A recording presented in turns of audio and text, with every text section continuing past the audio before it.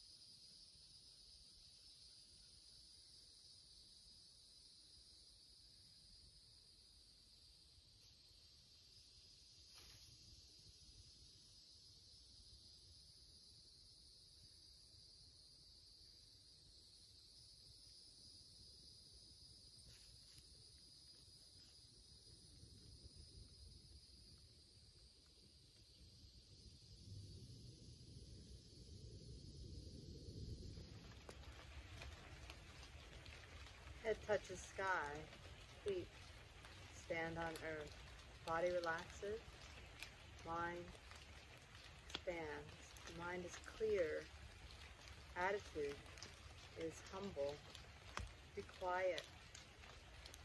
Be respectful. Think space. Think body. Only unifying thoughts. Entire body is harmonized with chi. Begin to practice.